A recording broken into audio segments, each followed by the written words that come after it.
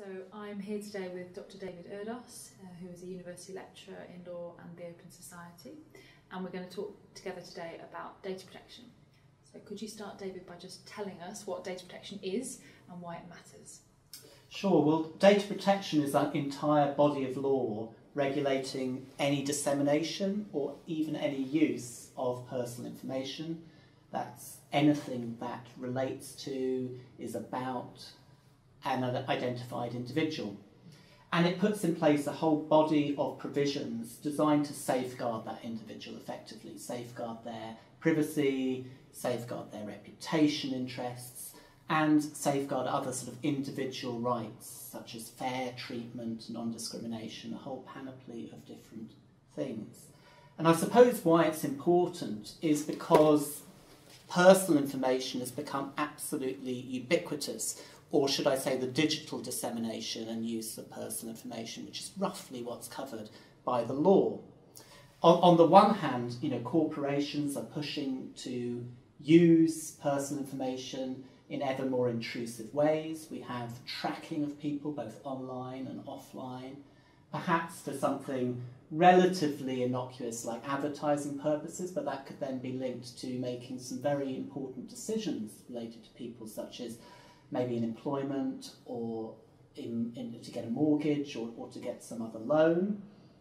On the other hand, all of us manipulate personal information in this digital environment in ways which could be seen as going beyond the purely personal, which has an exemption from the law. So, for example, you might use a CCTV camera outside your home. That might not be considered purely personal. You might put some information on the web on some kind of public profile or blog mentioning someone or including a photo, again, that would tend in Europe to be considered not purely personal. And so personal use is central both to the digital economy and to the enjoyment of other fundamental rights. So the use of personal information is actually integral to freedom of expression. It's integral to freedom of uh, association, and to the extent we all readily move across borders, it's also integral to freedom of movement across borders as well. So it has become, although it's seen as very narrow and technical even now, has become pretty critical to the way we organise uh, sort of modern industrialised societies, to mm. be honest. And what's been the role of the EU in terms of law and policy in this field? Yeah, well, that, that raises another critical issue because the EU has uh, been a trailblazer, if you like, for some of the most stringent laws on personal information that exist within the industrialised world. So it takes a very broad approach that almost every form of digital communication or use of personal information, at least within the private sector, is covered.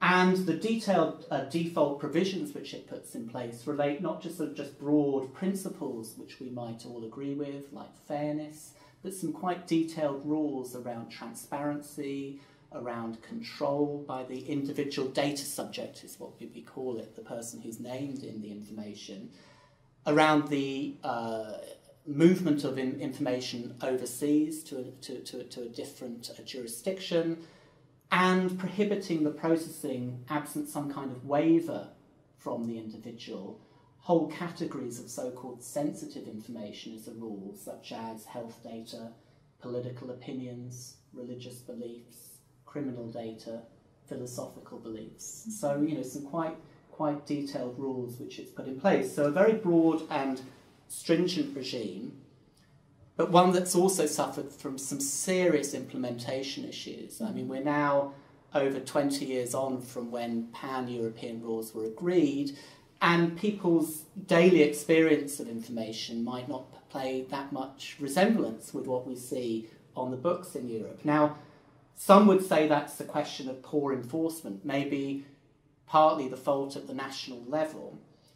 Others would say that this sort of labyrinth, or a UK judge even described it as a thicket of rules and regulations, just doesn't fit well with digital reality, which again might be argued that that digital reality is integral to the digital economy, the competitiveness of the economy, and also to the enjoyment of liberal freedoms, particularly on, online. So, so that's kind of where the EU is, is at. It's really at the very centre of these Yeah. debates. And what's the justification for this um, this regulatory sort of web? And you described it as stringent. What what's the EU's justification for having this sort of regulatory regime?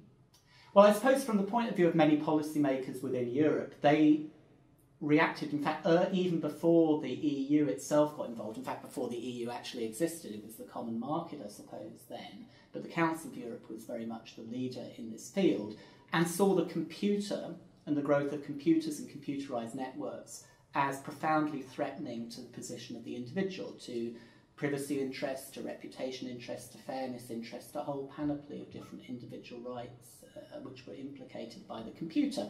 And, you know, 30 years, 40 years on with the growth of the internet, one can kind of see within that ballpark where it's coming from. It's not as if they aren't some serious issues in this area. But data protection, in many ways, was designed for an era where they were a sort of manageable set of computers, a small number, doing a small number of operations. And I suppose we sort of developed that regime from that setting in Europe because we put it in place in some cases in some countries as early as the early 1970s. Hmm. And so it's from that model that it's been developed. Now, alongside relatively poor enforcement and implementation, this has prompted a, a reaction to simply using the existing framework and augmenting it. And in fact, under the new General Data Protection Regulation, which has just been agreed in Europe, which will come into force in 2018, generally speaking, the rules have become even more stringent.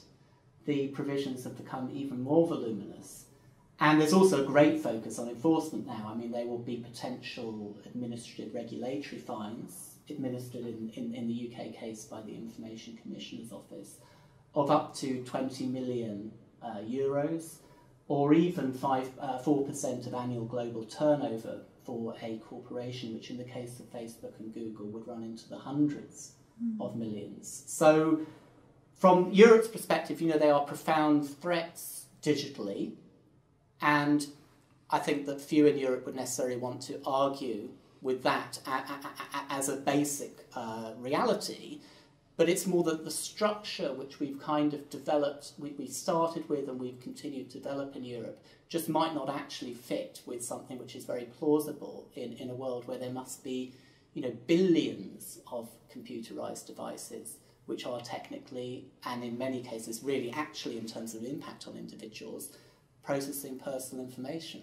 So, what do you think the impact of Brexit might be upon data protection? Yeah, well, I mean, I actually hope that Brexit won't happen, despite having sort of major criticisms of EU policy making in this area. But I think it is interesting to think through what the implications would be for data protection should Brexit happen. And I think that they would be, uh, you know, complex in a way. On the one hand, we would be freed, if you like, from having to implement what I would consider some pretty disproportionate and onerous restrictions in this general data protection regulation. We would be free to develop a more flexible regime. And that might offer some benefits for the digital economy here in the UK, to be honest, and it also might offer some benefits for the enjoyment, the secure enjoyment of uh, liberal freedoms. We also probably would face a little bit less pressure to actually enforce some of these provisions. Now, if you care about some of the outcomes which the EU has obtained in this area, you might not be too happy about that. So, for example, the only real reason that we have the right to be forgotten rights applied to search engines like Google is really as a result of Spanish regulatory action, which then led to a pan European result. We, we, we might not be included in those rights should uh, Brexit happen.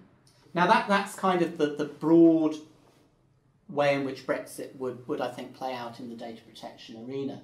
The complication comes from the fact that we would then become subject to the restrictions on the flow of information outside Europe's borders. And the flow of personal information between us and the rest of Europe is actually integral to so much of our economy that I think it's almost inevitable that we would seek this sort of gold standard adequacy status of our data regime with the EU. And that would push us more towards a similar regime to the EU because we would only really get an adequacy status if we had a regime which was at least substantially similar to what is existing under the EU and will exist under the regulation. Now, it's true that New Zealand in 2013 managed to obtain adequacy status from the EU with laws which are substantially different, in fact, from the data protection scheme in Europe. They don't have the kind of detailed, or most of the detailed transparency and control rules. They actually have no concept of sensitive personal data per se within their law, although many other elements are, are, are very similar.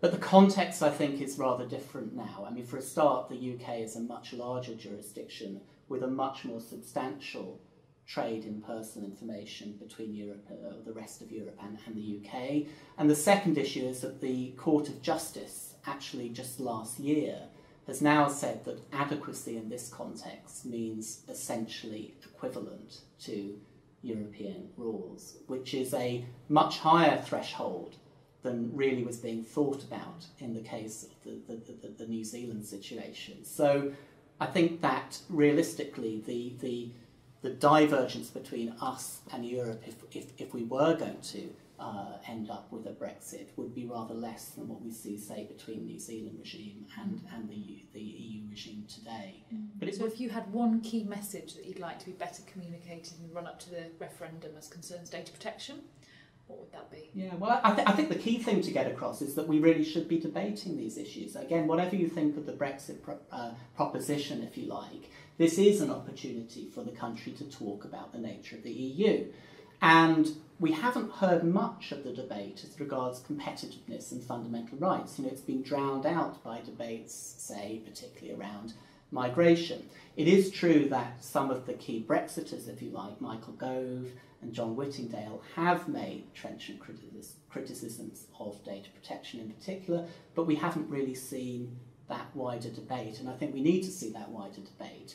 And within the context of that wider debate, I suppose I would say that, on balance, Brexit isn't the answer, but more engagement with the debate is the answer within the EU. So, using the various limitations which may exist at national level to create that balance which is needed within the law, and also engaging with our European partners about an interpretation of the law that is more balanced, and eventually a kind of potential alternative vision for data protection, which is a bit more contextual and a bit more balanced, but on a pan European basis. Because at the end of the day, although they are major issues of divergence in national values, which maybe need to be faced as well, a number of the issues which I'm talking about today, about the secure enjoyment of liberal freedoms, about competitiveness in a very challenging digital environment, are common to the whole of Europe. So I don't think it should be seen as a them or an us situation. I think it should be seen as a situation where there's potentially profound learning to take place um, between all the different countries in the EU to get to a better outcome that achieves the sort of goals which I think probably on balance we all want to achieve in the data protection arena. Brilliant, thank you. Thank you.